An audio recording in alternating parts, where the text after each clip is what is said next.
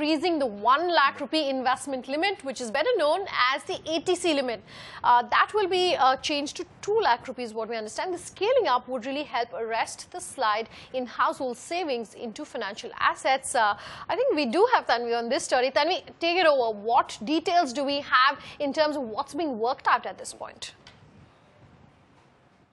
Well, indeed, Vivek, one of the suggestions, uh, one of the proposals rather that the finance ministry and the government seem to be working on is increasing the amount that you can save under 80C section. So currently, uh, any taxpayer is allowed to invest up to 1 lakh rupees and gets a tax exemption on it. The proposal is to incre increase this to 2 lakh rupees. Now remember, currently again, this includes uh, even your housing loans and any other kind of savings, but the proposal uh, is supposed to be only for financial savings. The idea, of course, is one to ensure that um, there is some relief coming in for taxpayers. But on the other hand, this will ensure that there, there are more financial savings that take place. Savings on an overall basis for the country go up. And some of this money really goes out there into the markets, uh, uh, into the equity markets. So uh, that's the real thought process here. Of course, the government and the finance ministry currently is working on the potential revenue loss that this could cause to various financial institutions. In fact, some of the bankers even raised this issue in their meeting with the finance minister